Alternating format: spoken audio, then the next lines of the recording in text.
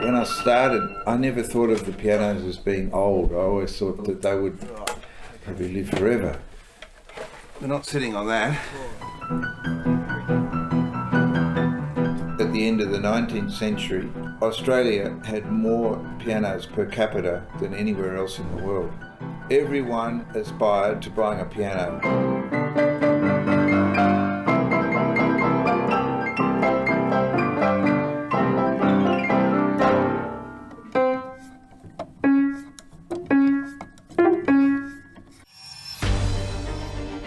I'm not very good at saying no.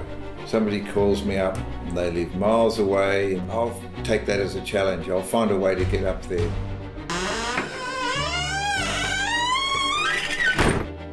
And at the moment, this is my home. Um, uh, it's, it's basic, but it's uh, it's got a, a roof over my head, so I'm just adapting to my surroundings.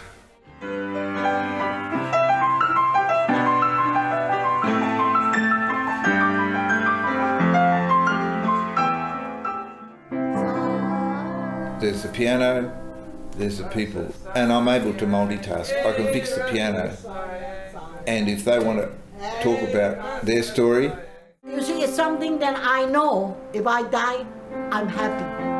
This is a wonderful world.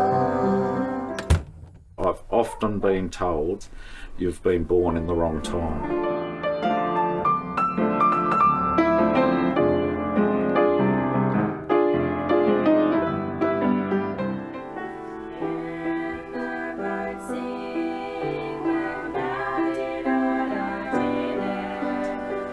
We sing together, we read aloud story. A family is entertainment.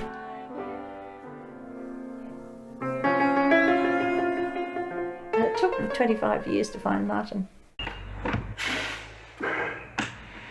Neil's living in there. How exciting. Is There's one living in that one too. A bit like a heart, you know, the heart valves and whatever.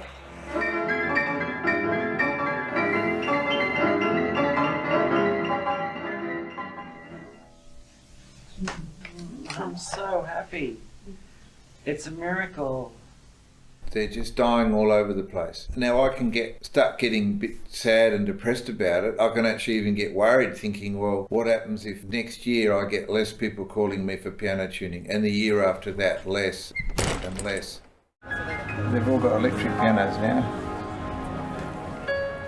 and we can have a cremation on the day because I have one there that is ready to be to be burned. But I want to keep it.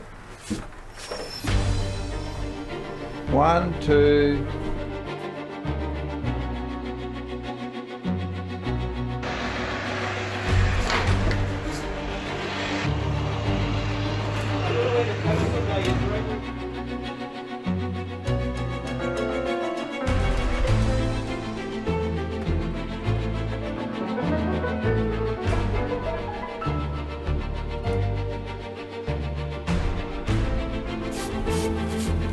You got to really love pianos. You get in there and you love them, and you can.